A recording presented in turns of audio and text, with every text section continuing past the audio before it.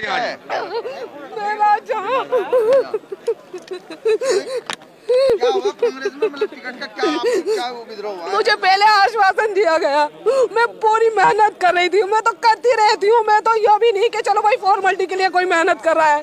मैं तो मेहनत करती रहती हूँ। प्रदेश अध्यक्ष जी ने भी कहा आप बहुत मेहनती हो आप आगे बढ़ोगी।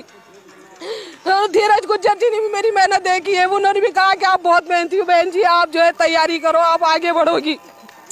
और यहाँ हर मैं झंडा और डंडा कांग्रेस का उठाई फिरी। और आप जो है, अब जो रिज़ल्ट आया तो उसमें जो है, सुबोध शर्मा जी का इन्होंने टिकट कर दिया। छः छह प्रत्याशी है, छह प्रत्याशियों में चार, चालीस परसेंट के हिसाब से दो महिलाओं का होना चाहिए। लेकिन इन्होंने एक ही महिला उतारी और वो भी ऐसी महिला उतारी है कि जो कभी कांग्रेस में रही भी नहीं है। नया प्रत्याशी उतारा है कल ही।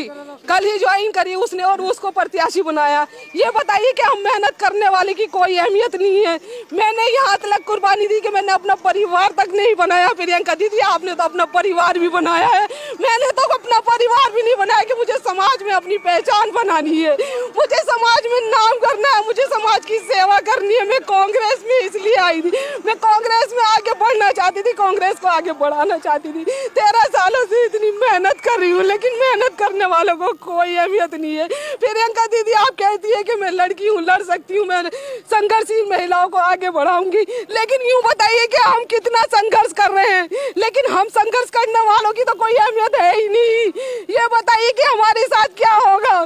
क्या क्या ऐसे क्या हमारा मनोबल नहीं टूटेगा प्रियंका दीदी? ऐसे आप नए आदमी प्रत्याशी को उतारती है इलेक्शन लड़के वो चले जाएँगे। बाद में बाद में बाद में कौन आपका झंडा और डंडा उठाएगा ये बताइए। कौन लोगों को जोड़ने का काम करेगा?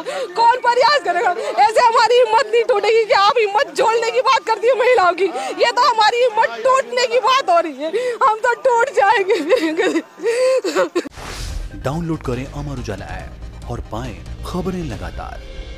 अगर आप ये वीडियो YouTube पर देख रहे हैं तो हमारे चैनल को सब्सक्राइब करें और बेल आइकन को दबाना ना भूलें। अगर आप Facebook पर यह वीडियो देख रहे हैं तो हमारे पेज को लाइक करें।